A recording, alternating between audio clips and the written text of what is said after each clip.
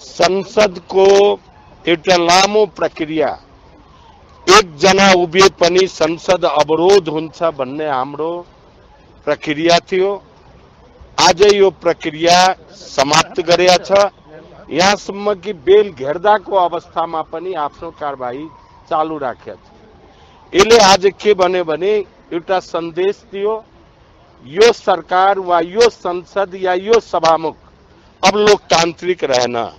तानाशाही व्यवस्था अब सुरु भयो जुन किसिमबाट संविधान ज़बरदस्ती लादिया थियो यही प्रक्रिया थियो ब्यारक ब्यारक बनाएर संविधान जारी करे अहिले ब्यारक बनाएर फेरि प्रक्रिया सुरु भएको छ। यो मधेसी आन्दोलनको लागि एउटा चुनौती भएको छ आजदेखि। यो चुनौती भएको कारणबाट अब यस्तो गैर लोकतान्त्रिक सरकारसँग हामी वार्ता अब गर्ने, नगर्ने भन्ने कुरामा पनि हाम्रो अब सोच बन्नुपर्छ। जो लोकतन्त्रको कुनै नर्भ्स नै अपनाउँदैन, हामीले आजसम्म नेपाली काङ्ग्रेसलाई मानेका थियौँ एउटा लोकतान्त्रिक पार्टी हो। तर लोकतान्त्रिक पार्टीले आज पनि लोकतान्त्रिक प्रक्रियाको खिल्ली उडाउँदाखेरि खुलेआम साथ दिया छ यसबाट अस्ति त संविधान सभा थियो। एउटा सभामुखको रुलिङले त्यसलाई गर्यो ब्यारक बनाइयो। आज सबै पार्टीको सहमतिले मधेसी मोर्चाको अवरोधलाई तोडिकन जुन एकतर्फी प्रस्तावहरू पारित भयो यो साह्रै निन्दनीय छ यो साह्रै दुःखद छ र यो देशमा लोकतन्त्र कहाँ छ भन्ने अब खोज्नु पर्ने बेला छ। आंशिक माग त सरकारले संविधान संशोधन मार्फत पुरा गर्दैछ। अब आन्दोलन रोक्नुहुन्छ कि रोक्नुहुन्न? हाम्रो संशोधनसँग सुरुदेखि भनिराख्यौँ।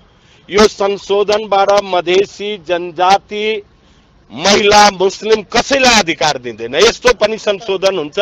यो संशोधन अन्तरिम संविधानभन्दा पनि पछाडि गएको छ। यो संशोधन आज तिनटै पार्टीले तिनटै नेताले स्वीकार गरेका छ। यसले मधेसको कुनै पनि एजेन्डालाई यसले सम्बोधन गर्दैन र यो संशोधन हामीलाई मान्ने पनि हुँदैन।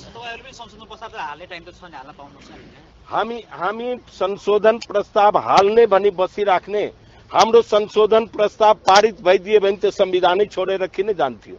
हाम्रो छत्तिसजनाले त्यो हुने कुरै भएन। त्यस कारणले हामीले वार्ताद्वारा समाधान होस् भन्ने खोजेका थियौँ।